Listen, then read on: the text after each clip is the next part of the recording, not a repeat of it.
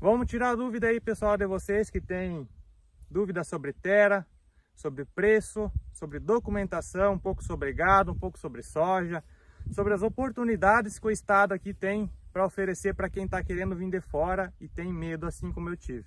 Pessoal, eu vou deixar um pouco ele falar aqui, eu vou fazer umas perguntas aqui que o pessoal me, me pediu no, no Instagram aí.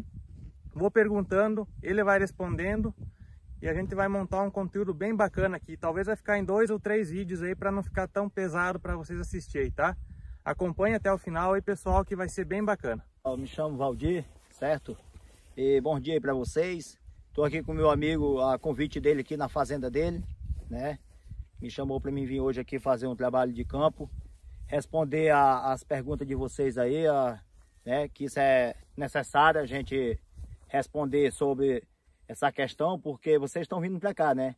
Quando a pessoa está vindo para cá que tem uma, uma noção melhor do que, do que é Roraima, né?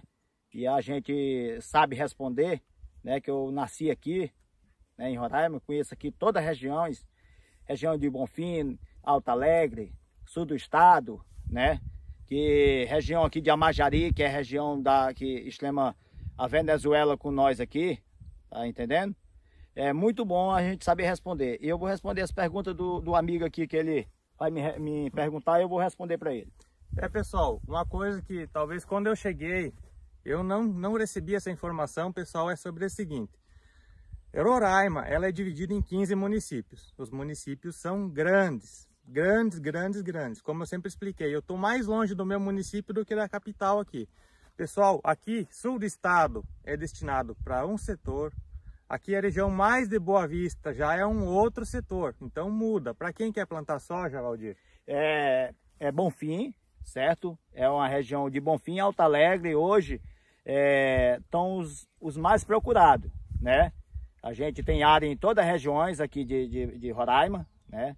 Todos os municípios nós tem, nós tem área.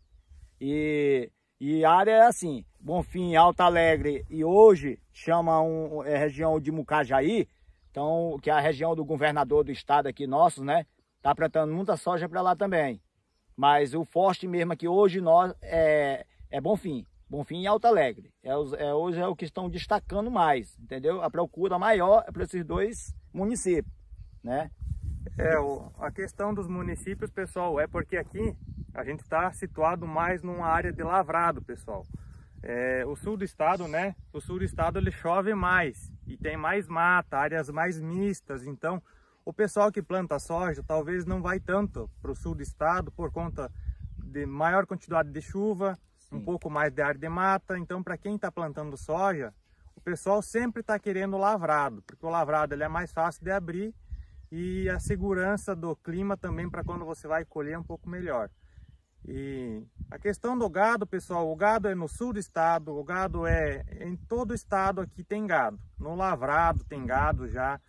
Como o Valdir fala, aqui perto de nós, aqui tem gente já com duas cabeças de gado por hectare numa área assim de primeiro, segundo ano de pasto, aí uma área sem muita correção, né? É, vou responder sobre essa questão que ele terminou de me de perguntar agora, né? É, regiões que hoje, nossa, que, que aguenta gado, é, du, é, duas cabeças por hectare, é região de Alto Alegre, sul do estado, né? E Vilena, que é outro, outro faz parte do, do Bonfim, mas já faz parte que é a região de mata, né? Aqui chama o Barro Vermelho, que é, que é uma terra mais agilosa, você tá entendendo? É, regiões assim que hoje o pessoal estão procurando muito, né? Quando, logo quando chega aqui, os meus clientes perguntam logo sobre esse, essa questão. E documentação também, que o povo pergunta muito por isso aí, certo? Tem muita área nossa aqui, pessoal, que a documentação é ok, entendeu? Não tem problema. Hoje, quando nós vamos vender uma área, a gente chama o, o, o cliente, leva na área, nós puxa toda a documentação, entendeu? Já para vender uma coisa com garantia para vocês. Nós não pode vender nada errado, que o Estado é bem miudinho, né? E o meu nome, graças a Deus, está muito forte aí fora, entendeu? Tem vendido muita área para gente aí de fora e leva meu nome. Graças a Deus, nunca criei problema com nenhum cliente meu. Graças a Deus. Certo, pessoal? E se vocês virem com a gente aqui, a gente tá aqui para atender vocês, certo? A honestidade. Tá bom, pessoal? É isso aí, pessoal. Ele falou um pouco aí. É, é o nome dele, pessoal. Top Agro Consultoria. Então, Quem quer acompanhar aí, tem o TikTok, tem Instagram aí, pessoal. É, tem muita área, muita área boa. Vai lá, analisa, principalmente no TikTok, né? É, TikTok. Lá você consegue olhar, pessoal, diversas áreas de diversos tamanhos, de área de mata, área de transição, como a nossa aqui, áreas de lavrado também, pessoal. É, tem muita oportunidade boa lá, pessoal, com preço ainda que vale muito a pena, pessoal. Tá chegando gente. É, eu cheguei, já gostei muito, fui muito bem acolhido pelo estado, pessoal. Eu achava que ia ser pior, eu achava que aqui as áreas iam ser mais difíceis de trabalhar. Claro, precisa correção. Áreas de lavrado, pessoal, você tem que entrar com correção, senão você não consegue colher bons frutos. Já a área, como ele fala, áreas de mista para mata, que já tem abertura de antigamente, ou áreas abertas, pessoal, o pessoal chega aqui quase sem, sem colocar nada na terra, planta o capim e já coloca o gado em é cima. Verdade. Porque tem áreas aqui de mata, pessoal, que são áreas boas, que são áreas de um, um teor de argila de quase 40%. Então o estado é bem manchado, né?